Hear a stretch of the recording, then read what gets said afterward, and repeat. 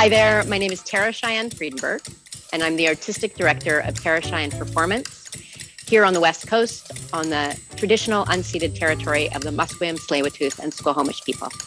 So my name's Melissa Dushak, and I'm the general manager of the Vancouver Cantata Singers, and I'm happy to be working on the unceded territories of the Coast Salish peoples.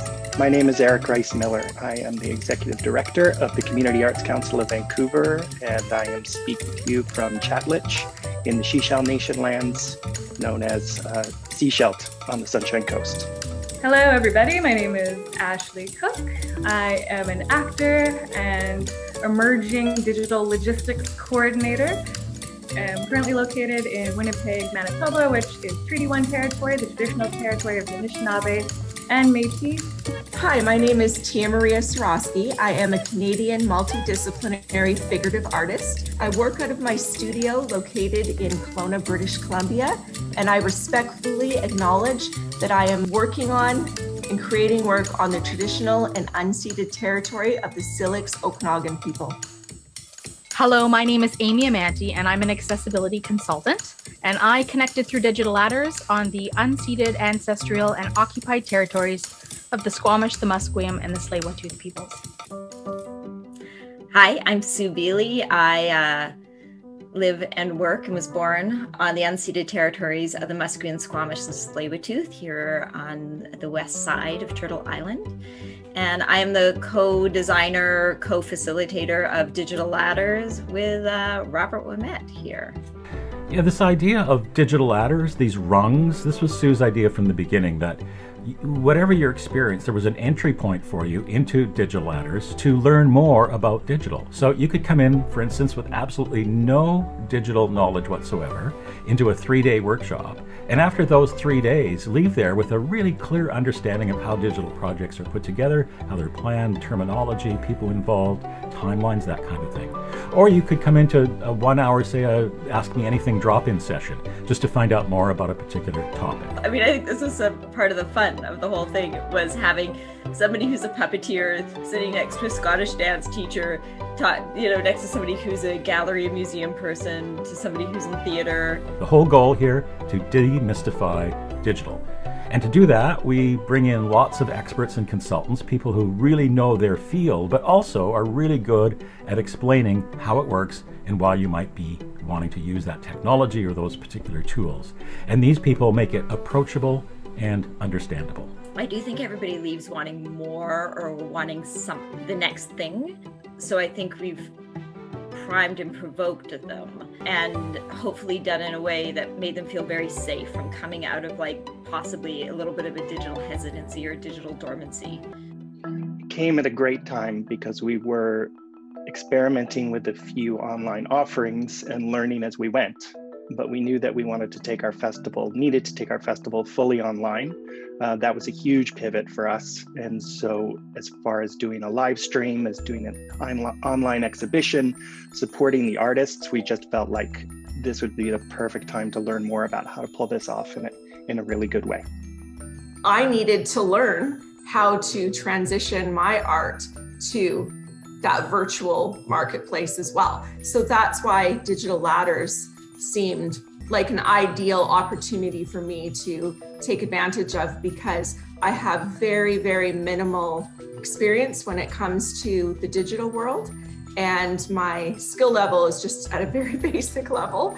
And so I wanted to learn about all of these new platforms and new resources and ways to show your art.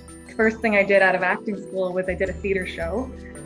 And then the pandemic hit and then I had no idea what I was what I was going to do with my life. Um, but one of the instructors at my school, she is the artistic director of Raven Spirit Dance. She's a supporter of, of me, knowing like I'm out there, I just graduated.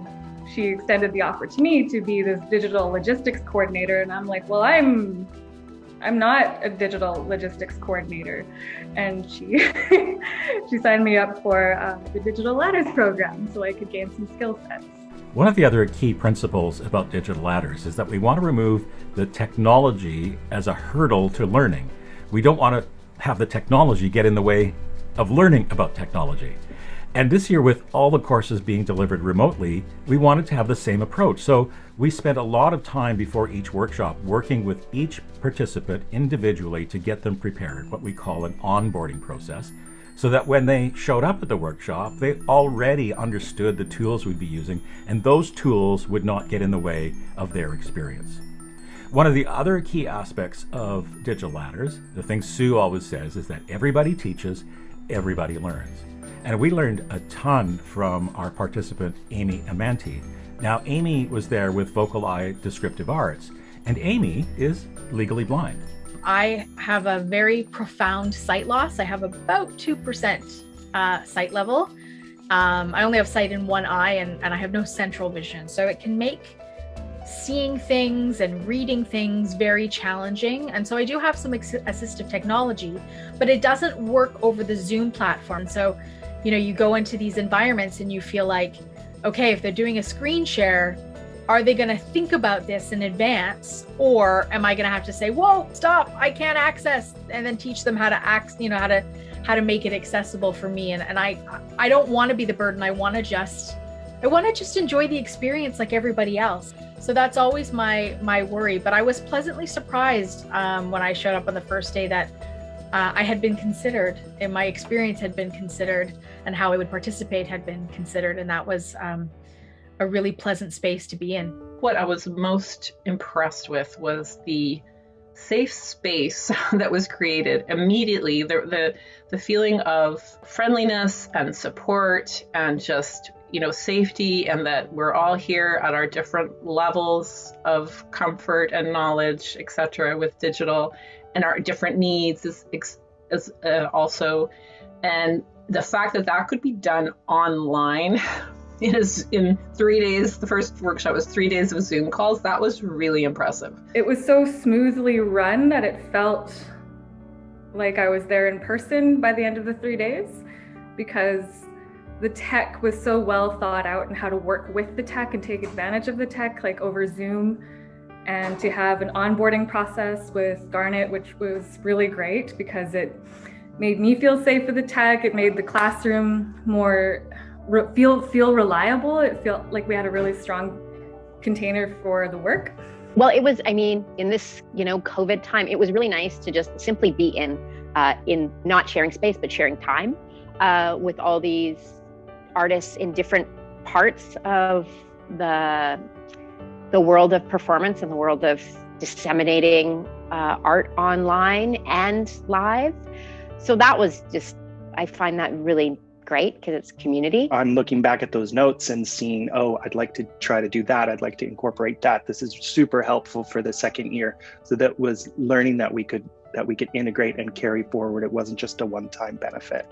So we're, we're really grateful that it happened and and I can see there's a lot of um, depth to what's possible it was essential that the coaches were there to say, well, this is how to how to make that decision. Here's the here's the way to make that decision is if you do this, this, and if you do this, this, and you know.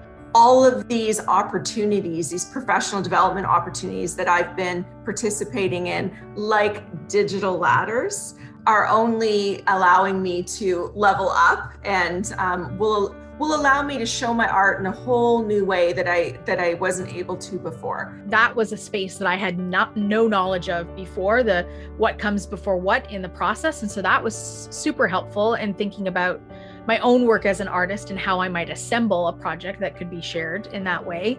It's been amazing to learn on the job since Digital Ladders and now I'm an actor who does digital program coordination.